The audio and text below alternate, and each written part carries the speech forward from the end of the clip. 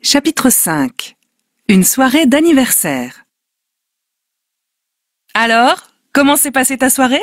Pas mal, bien même, mais avec des hauts et des bas. Fabien t'avait pas invité? Si, bien sûr Mais il avait oublié l'heure du rendez-vous. Oh, J'ai dû lui téléphoner, mais il avait éteint son mobile. Finalement, il est arrivé presque une heure en retard. il t'a emmené au restaurant? Oui. Mais tu sais ce que j'ai découvert? Il était déjà venu dans ce restaurant avec toutes ses autres copines. Il doit connaître un seul restaurant dans toute la ville. En plus, j'étais déjà allée dans ce restaurant. Et tu y étais allé avec qui? Oh, arrête. Au moins, une bonne chose, c'est que j'ai mangé du magret de canard au miel. Mmh, Tu en avais déjà mangé? Non, je n'en avais jamais mangé.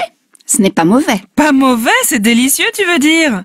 Allez, raconte-moi les détails. Comment tu t'étais habillée pour la soirée? Je m'étais habillée en noir avec un haut super bleu pâle en dentelle. Waouh Au fait, euh, Fabien t'a fait un cadeau? Après tout, c'était ton anniversaire. Oui, il m'a offert un livre de Romain Gary, mais on me l'avait déjà donné.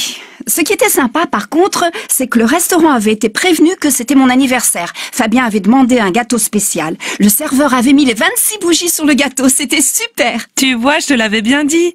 Fabien est gentil tout de même. Ta soirée n'est pas si ratée que ça.